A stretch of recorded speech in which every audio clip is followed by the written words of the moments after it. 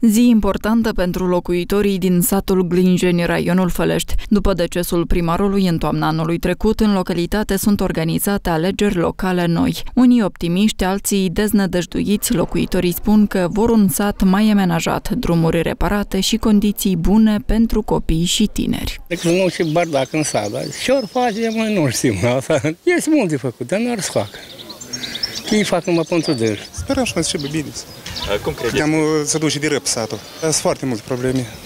Da. Să fie un sat. Care un sat mai bun, mai, mai frumos, mai amenajat, mai să fac ceva schimbări în sat. Problemele principale e că care să tineretul tot se duce, rămân bătrâni, noi ne trecem, da, pentru tineret nu se face nică. Mandatul noului primar al satului Glinjeni va fi de scurtă durată. Următoarele alegeri locale vor avea loc deja anul viitor. Pentru viitorul copiilor noștri, pentru binele satului nostru, să facă ceva în sat, să fie curat, să fie bine pentru copii, un teren de joacă să facă. Pentru un primar demn pentru satul nostru, un primar care să facă ceva pentru sat să ne construiască un teren de joacă pentru copii. Mă gândesc că va câștiga un primar care să rezolve, să rezolve foarte multe probleme pentru satul nostru. La urne sunt așteptați 2683 de persoane cu drept de vot. Oamenii vor trebui să aleagă între candidații independenți Dumitru Dombrovski și Silvia Șoronga, candidatul din partea Partidului Acțiune și Solidaritate Constantin Căruntu, dar și Viorel Zarija de la partidul nostru. Au votat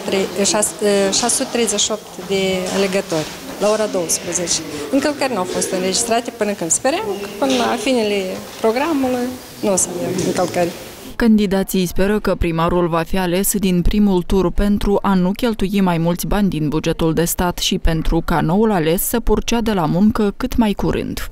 Am votat pentru lucruri frumoase, pentru continuitatea proiectelor care au fost în derulare de ex-primarul, Dumnezeu să-l ierte, pentru o atitudine frumoasă pentru bătrânii noștri, pentru prezentul nostru copiii și pentru viitorul lor. Eu cred că lumea ar să facă o alegere corectă.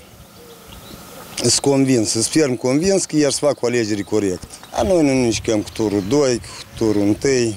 Hai să vedem. Astăzi, în alte două localități din nordul Republicii Moldova au loc alegeri locale noi. Este vorba despre satul Zastânca din raionul Soroca și Moara de Piatră din raionul Drochea. În total, astăzi, opt localități din țară își aleg primarii.